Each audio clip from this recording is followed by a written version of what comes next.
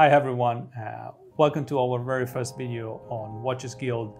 Today we're going to look at a very famous chronograph from the 1960s, the Zenith uh, CP2 Italian military issues from the 1960s. Today we're going to look at you know the details, we're going to have a very nice zoom in and we're going to talk about the story of this watch which is one of the most sought after in the collector's market. So stay with us, we're going to go through it and have a very nice review about this amazing piece for collectors.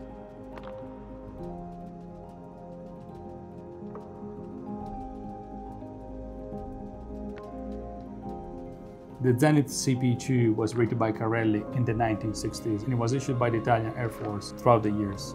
There are other very famous battle-proven military wristwatches like the Breguet Type 20, the Rolex Peruvian Air Force Daytona, but the Cairelli really remains one of the most sought after in the secondary market because when you look at the vintage military chronograph, it remains one of the most you know, iconic for the designs and for the history they carries. And really any luxury watch brand with military provenance really drives out the price. But when it comes to the Zenith, there are details and a few particular addition to the dial that really adds the value throughout. The Zenith Cairelli CP2 is the one that succeeded after the Breitling and the Leonidas CP1, which basically were the earlier version, both retailed by Breitling and Leonidas.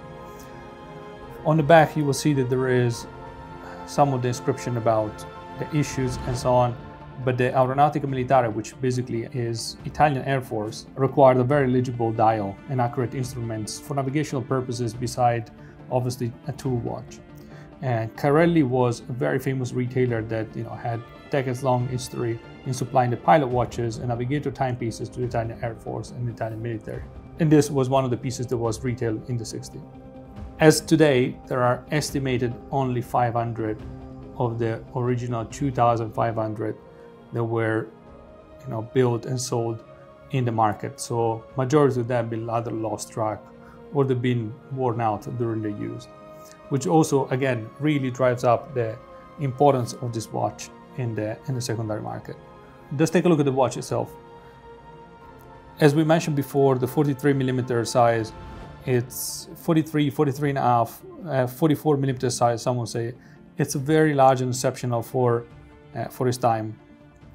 It's a much larger than the CP1 version because again, they wanted to achieve much, much better eligibility. The case size is measuring 12.5 millimeter thickness on the wrist which really provides a lot of room around the manual winding movement, which is set inside. On the dial, you will see that the black dial on the it's you know really recalls the vintage size of the Cairelli and presents itself with the tritium coated number on the very large size and the Arabic numerals. The hands are also treated with the white same luminescent and so again even the hands are with tritium uh, which really provide you know, the level of detail patina that everyone is looking on the vintage market. Uh, there are around three, and basically nine o'clock, there are the two register, uh, which basically cuts into the numbers, some of them, and then basically you will see that they really provide a very nice numeral on the craft. Inside the watch, we can't see the movement inside, but there is a caliber 146, which was tried and tested for many years for Zenith, and it was then introduced in the watches since 1960s. 146 really comprised a monometallic balance, shock protections, and a self-compensating flat balance spring. And it has 17 jewels and 38 hours power. If you look at the, there are two registers on the dial. On the left-hand side register around 9 o'clock, you'll see the sweeping ends, they're moving on.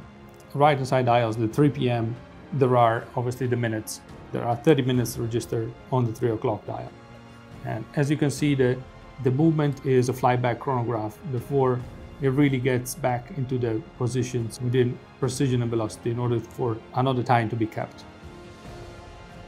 Thank you everybody for staying with us in video. Today we watched an amazing iconic military watch another vintage Zenith Cairelli CP2. I hope you enjoyed this video. Uh, if you really liked it, please comment, like, share. Help us to improve this video just by commenting and letting us know what you liked and what you'd like to see next. So for today, Thank you for staying with us and we'll see you in the next video.